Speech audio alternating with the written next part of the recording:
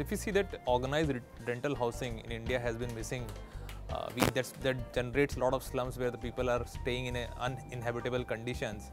Uh, I think the, the budget which, which this budget has brought is the additional deduction limit on the te- and the rental paid by a, a tenant from 24,000 to 60,000. It will help uh, organized sector to build a lot more rental housing, which will help lower middle class uh, working in the cities.